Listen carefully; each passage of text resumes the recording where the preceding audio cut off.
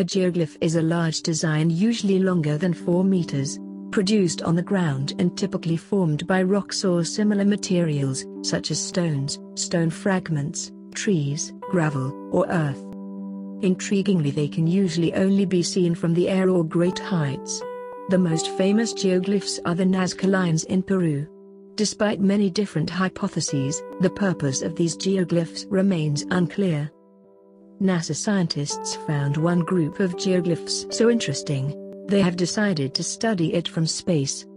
The space agency officially investigated the steppe geoglyphs, a group of more than 200 giant squares, lines, rings and a swastika formed by dirt mounds in the Turgai area of northern Kazakhstan. NASA released photos of the formations in 2015, and the space agency will continue to capture more images as it attempts to help researchers figure out what the shapes may have meant to ancient people. NASA teamed up with Digital Globe to study the formations. The joint effort produced 50 to 60 images of the glyphs which measure about 300 to 1,300 feet across. Compton Tucker, a climate scientist at NASA who studies the planet through satellite imaging had this to say about them. They're really curious and puzzling, at the moment. We don't have a clue what they are.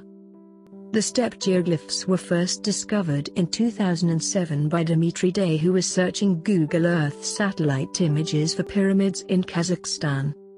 These geoglyphs are thought to have been made by the Mahandzhar culture between 7 and 9,000 years ago.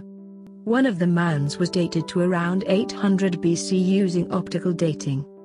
Shrouded in mystery, with the knowledge of why they were constructed lost in the mists of time, they captivate and fascinate us. As always thanks for watching and if you enjoyed this video please like, comment subscribe.